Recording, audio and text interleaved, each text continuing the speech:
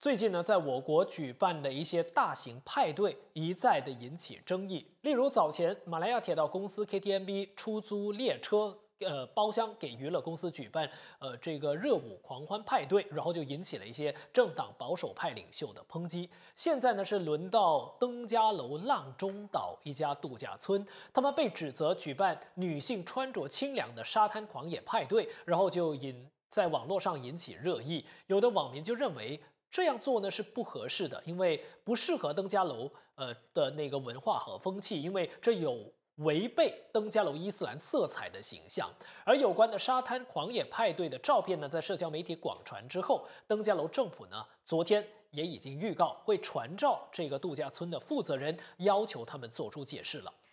那在登江楼州政府公布与度假村的负责人会面结果之前呢，登江楼州警方今天就告诉媒体，警方其实呢并没有收到任何关于举办这项派对的准证申请。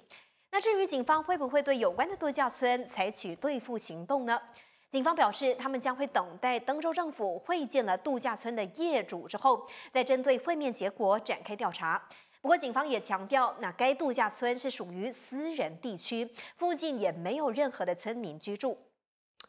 那针对这个浪中岛哦度假村举办狂野沙滩派对，今天登嘉楼掌管旅游事务的行政议员拉扎里在会见了度假村的业者之后呢，就开了记者会，告诉媒体说，州政府决定向这家度假村开出两万五千令吉的罚单，以示惩戒。同时呢，州政府也已经下令了。这家度假村往后不可以再举办类似的沙滩狂野派对。不过，这个度假村呢，可以照常运作。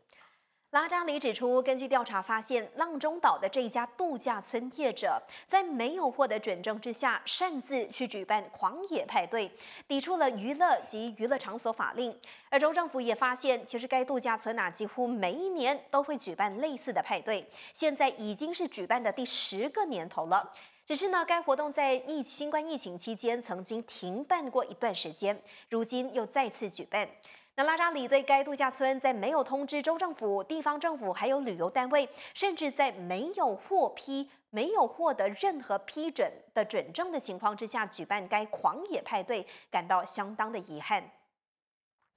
而在会见了登嘉楼政府的代表并接下罚单之后呢，这家度假村的业者，也就是浪中岛夏日海湾度假村的董事庄发明先生，今天呢他就说啊，呃，这个沙滩派对被人在社交媒体渲染变成了争议性的课题，他是感到遗憾而且震惊的。但是他对于这件事公开道歉，他说。他们度假村每年的五月二十号都会举办这项沙滩派对，这是一项闭门活动，只邀请度假村的顾客参与，感谢他们的支持。但他非常遗憾，这项活动呢就被有心人趁机变成一个政治课题，并把登嘉楼政府呢牵扯进来。所以，为了这件事，庄发明呢就向各造，尤其是登嘉楼政府道歉。